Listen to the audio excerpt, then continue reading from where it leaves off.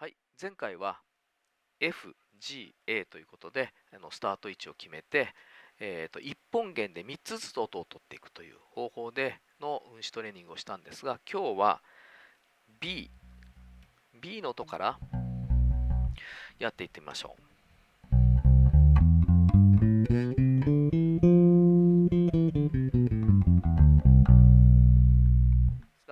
じゃあ次は、えーと、C の音からいきます。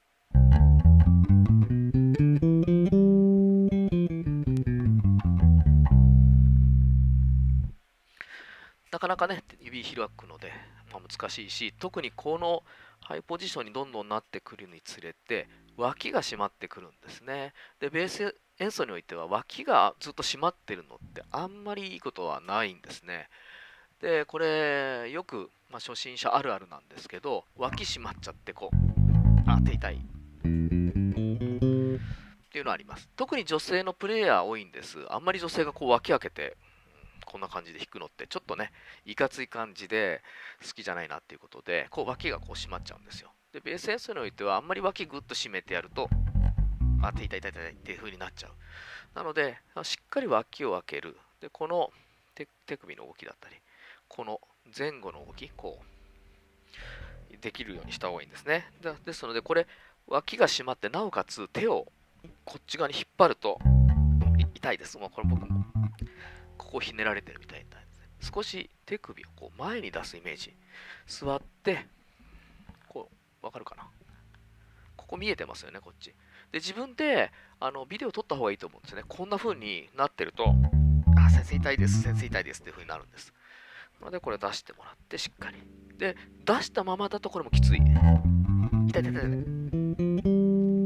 で、痛くなるので、手をこう、回転するような形。この辺りから、わかります？で、回り込んでくる感じ。で、このような感じで、えー、とやってください。で多くの方がこの辺りがうまくいかずにハイポジションに行くと手が痛いで先生も手開くの嫌ですってことになるんですねなので手が痛い方は、まあ、ポイントとしては脇が締まってないかということまたあの脇が締まる一つの原因としては今先生のまあベース見てもらったらこう角度これがですねあんまりこう地面に対して水平だと痛い痛いです僕も痛い痛い痛い、これをそっと上げてもらうだけで痛くないポイントっていうのはできるだけ、まあ、僕はあの自分の目の視界の中に入ってくることだと思ってるんですね。これ顔近づけていけばいくほど楽なんです。でこれ離れていくと、あ、痛いですね、これはもう。大体あのベースの位置です。どうしてもこの位置っていうのが初心者の方はどうしてもこう一回固定しちゃうともうここから怖くて動かせない方が多いんですね。なのであのしっかり引く場合に体をぐっとこう顔を近づけてあげる。座ってる場合だとこれかなり楽になります。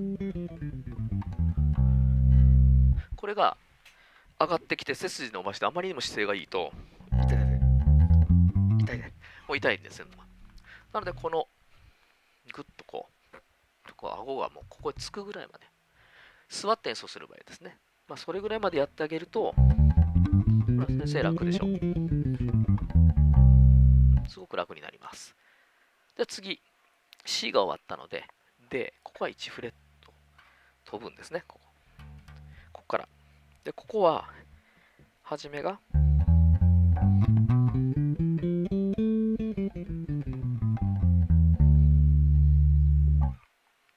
このように、初めが、この A の時で出てきた、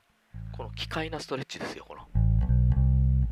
こ痛いね、ここが。痛いように思うと思うんですけど、この場所でもこれを使います。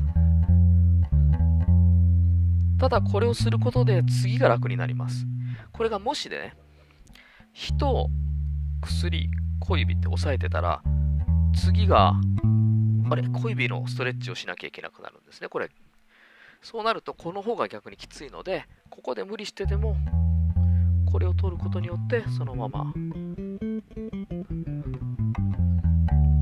いけるというふうになります。そして、まあ、最も難関なのはですね、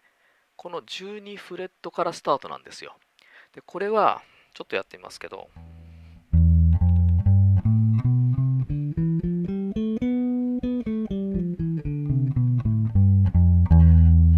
これさ、ここなんか難しいよね。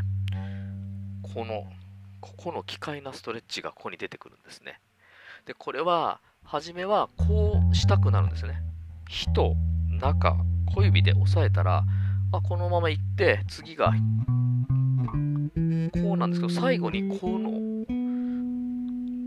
まあ、開きが出てきたときに、えーと、指の順の整合性がと、まあ、乱れてしまうんです。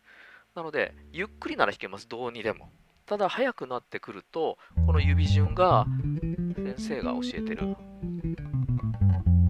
やり方の方が、まあ、早くは弾けます。ただ、これもフレーズによるの、ね、全部があの常にそうする必要はないんですが、エクササイズにおいてはこれをしっかり守っていただいた方がいいかと思います。一通りね、まあ、ちょっとこう全部あの今ここまで行きましたけどまず前回の動画と今回の動画を見てで、まあ、この映像の上におそらくタブ譜出してますのでそれ見ながらねあのやってもらうといいと思います最後にもう一度ストレッチ手の開きを伴っているのでおそらく手痛いなという方いると思いますその場合、とにかく、まあ、椅子の高さ、まあ、一般的なあの椅子ですね、ちゃんと足がペタッと下についてる高さ。その上で、しっかりストラップは、その時に長すぎるとね、ベロンってこう、練習中にずっと落ちると、常にやりながら、ーってなっちゃうので、できるだけ、あのきちっと、あの体に当たっているような状態にしてください。その上でこれを、こう、できるのがいいですね。そうすると、こう、でもう一度顔が自分の視界に近く入っていく方がやりやすい。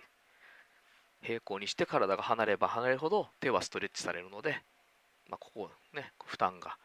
きます。是非この辺りを覚えてデイリートレーニングをしてみてください。また引き続きですね手の運指トレーニングについては話していこうと思うんですが今日はこの辺にしたいと思います。ありがとうございました。